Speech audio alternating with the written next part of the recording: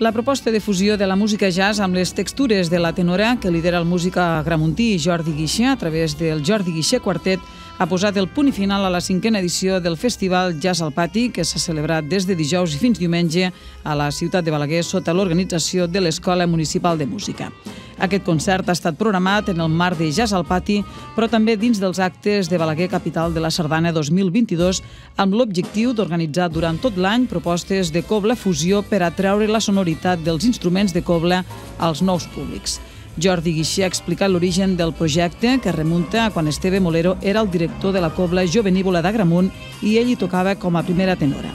A partir d'aquí va néixer el primer trema, Silenci Blanc, i després en van venir més i que ha repassat aquest diumenge durant poc més d'una hora amb un repertori que anava dels clàssics del jazz fins a la bossa nova o el latin jazz. El concert s'ha acabat en una versió jazzística de la popular cançó El cant dels ocells popularitzada per Pau Casals.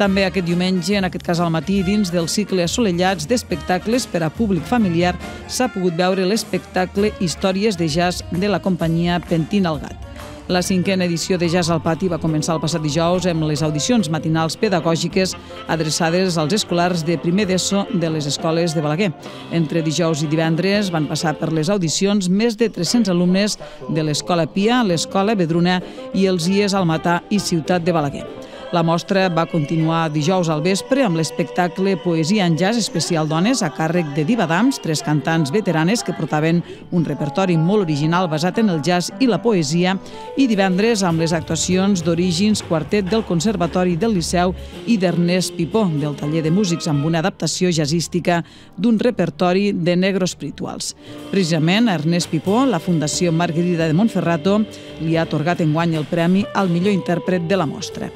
Dissabte, Jazz al Pati va comptar amb la presència d'Anna Blasco, quintet de l'ESMUC i amb els alumnes del Centre de Música Creativa de Madrid, l'escola convidada d'enguany, que treballa en la mescla de diversos estils musicals tenint en compte una base procedent del jazz i la fusió d'avantguarda.